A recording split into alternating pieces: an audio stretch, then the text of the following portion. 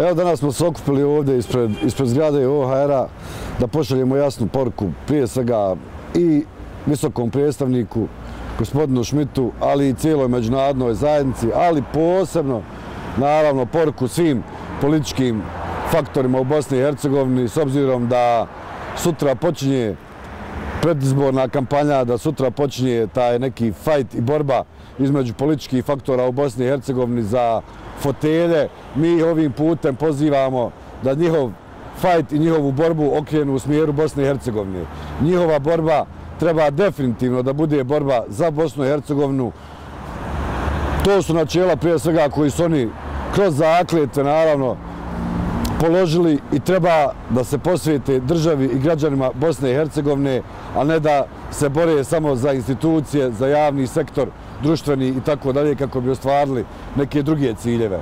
Cilj je opstanak prije svega ove domovne, cilj je opstanak prije svega države i građani će definitivno kao i svaki put pokazati svoju odlučnost da neće dozvoliti apsolutno nikome, nikome kako ni unutrašnjim faktorima, tako ni vanjskim, ani međunarodnim, da dozvole da Bosna i Hercegovina bude upitna na bilo koji način.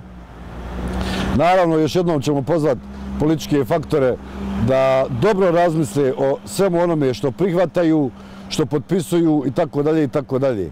Niko u Bosni i Hercegovini, nijedan politički faktor, nijedno političko lice, nijedna politička stranka nema pravo da potpisuje, prihvata, pada pod, pod bilo kakav vid ucijena i tako dalje i tako dalje kada je u pitanju bilo kakva odluka koja treba da se donese u korist ili protiv države.